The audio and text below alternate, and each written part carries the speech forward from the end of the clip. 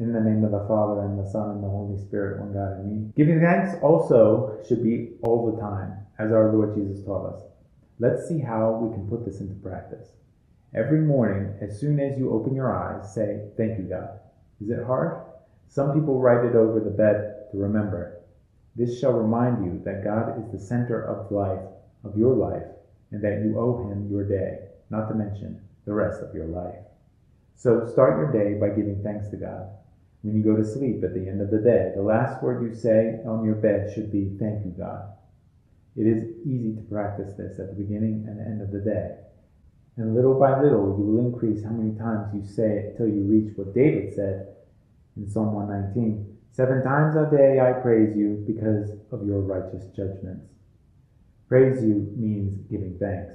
He was giving thanks to God seven times a day, not asking Him to do something for him. Little by little, you will give thanks to God during the day.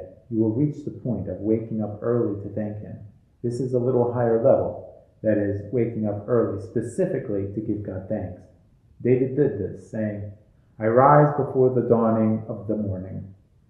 And also, at midnight I will rise to give thanks to you.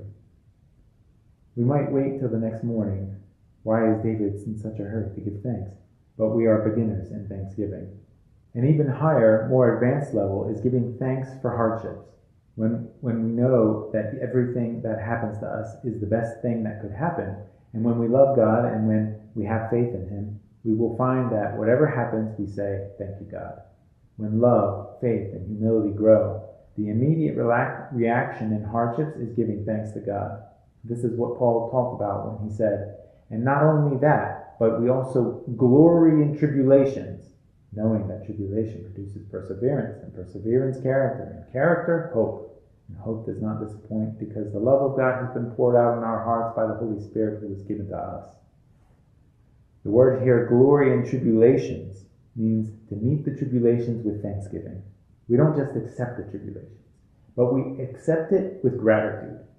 Paul said the same thing another way in Romans 8. He said, Who shall separate us from the love of Christ? Shall tribulation or distress or persecution or famine or nakedness or peril or sword? Yet in all these we are more than conquerors through him who loved us. In all these hardships we thank the Lord, for these are all good.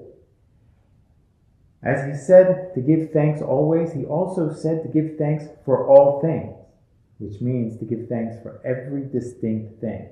I will give you some examples of things we forget to give thanks about. The first thing is health. Give thanks for being healthy, and give thanks even in illness, because everything happens for good reasons.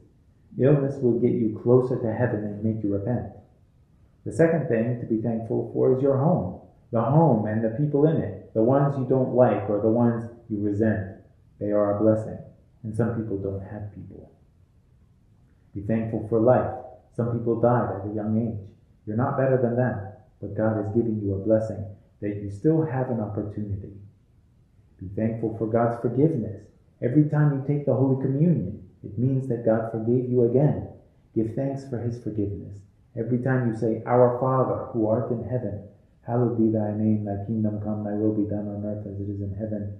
Give us this day our daily bread. Forgive us our sins, as we forgive those who sin against us. When you say that, God forgives you. Wow, this is the truth. It is true that He forgave you, so give thanks.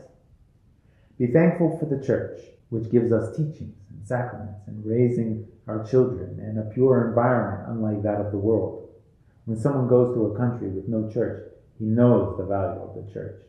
We do not notice that we have the privilege to have a church near us that provides a holy environment full of prayer and love. Thank God for the ministry and the opportunity to serve the poor we don't understand the value of such service, but when we go to heaven, we'll find a huge reward for just the little amount of energy we expended on others. If we actually understood the greatness of this reward, we would forget about all the silly stuff we seek in the world and would spend day and night serving others. So we should give thanks that God permitted us to serve, doing His work. Do we thank God for the Holy Bible? Whenever you want to hear God's voice, you can open the Bible and hear it. The Bible is a priceless treasure. Every word in the Bible can change your life and give you peace and bring you into heaven. Do you feel this grace? Do you give thanks for problems, as they will bring the best for you at the end? Do you thank God for hardships? Do you give thanks even for failure? Failure is usually the beginning of success in God's hand. Finally, our church calls the Divine Liturgy a sacrifice of thanksgiving. The Divine Liturgy is a celebration of thanksgiving, a sacrifice of praise. There are people who pray in the Divine Liturgy without asking for anything. So why do they even come? They come to give God thanks and praise. Our meeting with God in the Divine Liturgy is basically a meeting of thanksgiving. Our requests are insignificant parts of it. We already know that our requests are answered. He will not forget us.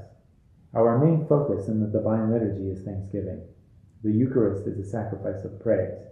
In fact, the word Eucharist in Greek means thanksgiving. Psalm 116 I will offer to you the sacrifice of thanksgiving and will call upon the name of the Lord. What shall I render to the Lord for all his benefits toward me? I will take up the cup of salvation and call upon the name of the Lord. When I feel thankful, I take up the cup of salvation in the Eucharist. So, how can we give thanks to God? There are many ways of expressing thanks. The first one is simply saying thank you, or glory be to you, or I love you, God, or any expression of gratitude. Talking with God a lot is a form of thanksgiving because you focus on Him. Talking about God is also thanksgiving. When someone talks about God, he does this with a feeling that he owes a lot to God. He goes to people and says, Oh, taste and see that the Lord is good, like it says in Psalm 34. God appreciates, appreciates this because it is from a thankful heart. So whenever you're sitting with others and you're trying to turn the conversation toward God, He looks at you with appreciation and love and thinks, You, my son, feel for me. You love me and thank me because you always want to talk about me. So we can offer thanksgiving sort of in an indirect way. Expressions of thanksgiving can also be idiosyncratic. The woman who poured the perfume on our Lord Jesus invented her own way of thanking Jesus. He liked how she expressed her gratitude. She wanted to tell him, I love you, but she couldn't speak in this situation in front of the men and the apostles. But she brought a gift. She did not ask for anything, she just wanted to thank him. It is like some simple people in the villages who save some money and go happily to buy some incense for the church. They do it to express their joy and gratitude for the Lord. Also, serving God is an expression of thanksgiving.